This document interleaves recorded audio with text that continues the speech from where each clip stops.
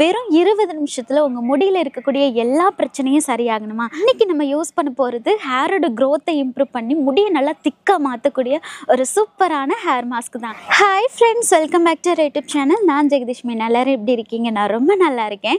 இன்னைக்கு நம்மளோட சேனலில் வெறும் இருபது நிமிஷத்தில் உங்கள் முடியில் இருக்கக்கூடிய எல்லா பிரச்சனையும் சரியாகணுமா?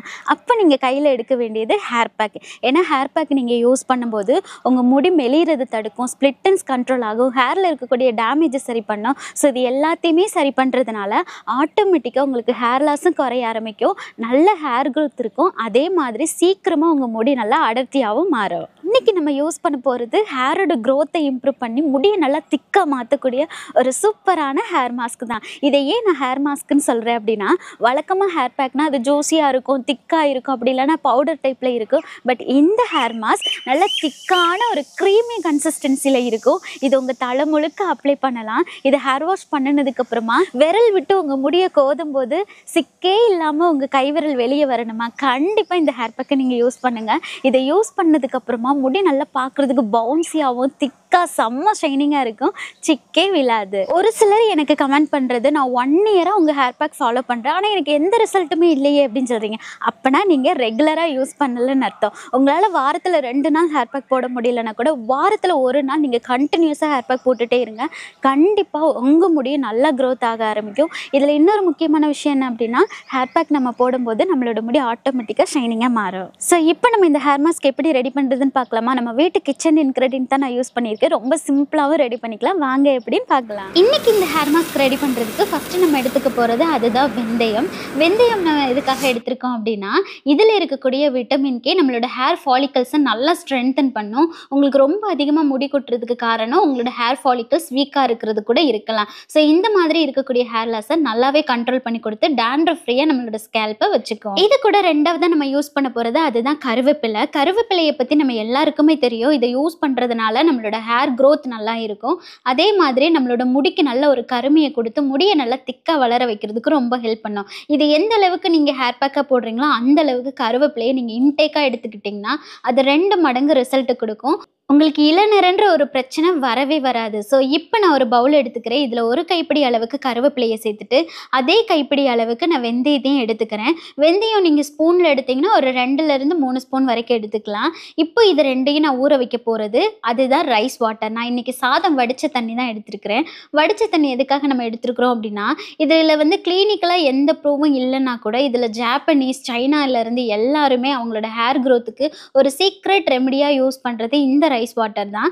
ஏன்னா இது நம்ம யூஸ் பண்ணும்போது நம்மளோட ஹேருக்கு நல்ல ஒரு ஷைனிங் லுக்கையும் ஹேரோட டெக்ஸ்டரை நல்லா ப்ரொடெக்ட் பண்ணியும் பார்த்துக்கும். ஸோ இதனால் ஸ்ப்ளிட்டன்ஸ் வராமல் தடுக்கிறதுக்கும் உங்களோட ஹேர் ரொம்ப மெலிஞ்சு போகாமல் தடுக்கிறதுக்கும் இந்த ரைஸ் வாட்டர் உங்களுக்கு ரொம்ப ஹெல்ப்ஃபுல்லாக இருக்கும். இதை ஊற்றி இது ரெண்டையும் நல்லா ஊற வைக்கலாம். இப்போ நீங்கள் சாயங்காலம் ஹேர் பேக் போட போகிறீங்கன்னா காலையில் ஊற வைங்க. காலையில் ஹேர் பேக் போட போகிறீங்கன்னா முந்தின நாள் நைட்டே ஊற வச்சுக்கோங்க.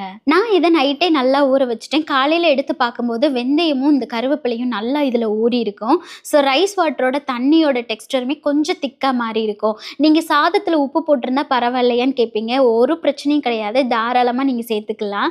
சாதம் வடித்து எடுத்துக்கும் போது அது இன்னுமே நல்ல ரிசல்ட்டு கொடுக்கும். ஸோ முடிஞ்ச அளவு சாதம் வடித்து தண்ணி எடுங்க. நீங்கள் வடிக்க மாட்டீங்க அப்படின்னா அரிசியை ஊற வச்ச தண்ணி கூட இது கூட சேர்த்துக்கலாம். இப்போ நம்ம ஊற வச்சு வச்சுருக்கிற இந்த இன்க்ரீடியண்ட்டை ஒரு மிக்ஸி ஜாரில் போட்டு தண்ணி எதுவும் எக்ஸ்ட்ரா சேர்க்காம இந்த ரைஸ் வாட்டர் தண்ணியை மட்டுமே வச்சு நல்லா அரைச்சி எடுத்துக்கலாம்.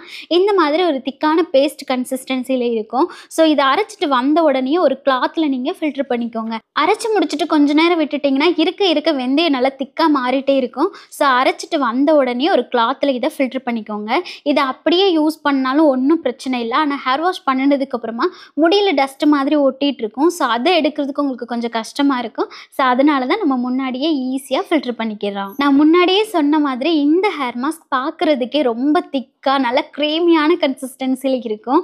இதை இருந்து எல்லாருக்குமே நீங்கள் யூஸ் பண்ணி விடலாம். இதை ரெகுலராக நீங்கள் ஃபாலோ பண்ணிகிட்டே இருக்கும்போது நல்ல ஹேர் க்ரோத் இருக்கிறதோட முடியில் எந்த பிரச்சனையும் வராமல் உங்களோட ஹேரை நல்லாவே ப்ரொடக்டாகவும் நல்ல ஷைனிங்காகவும் மாற்றி கொடுக்கும். ஸோ இப்போ நான் ஹேர் பேக்கை கொஞ்சம் கொஞ்சமாக எடுத்து என்னோட ஸ்கேல்ப்லேருந்து ஹேரோட எண்டு வரைக்கும் அப்ளை பண்ணிக்கிறேன். நீங்கள் எப்போவுமே ஹேர் பேக் அப்ளை பண்ண போகிறதுக்கு முன்னாடியே உங்கள் தலையில் ஆயில் வச்சுட்டு அதுக்கப்புறமா நீங்கள் ஹேர் பேக் அப்ளை பண்ணுங்கள் ரெண்டு பங்காக முடியை பிரித்து நல்லா சிக்கு எடுத்துக்கிட்டிங்கன்னா உங்களுக்கு பேக் அப்ளை பண்ணுறதுக்கும் ஈஸியாக இருக்கும். அதே மாதிரி ஹேர் வாஷ் பண்ணும்போது உங்களுக்கு அதிகமாக ஹேர் ஃபால் ஆகாமலையும் தடுக்கும்.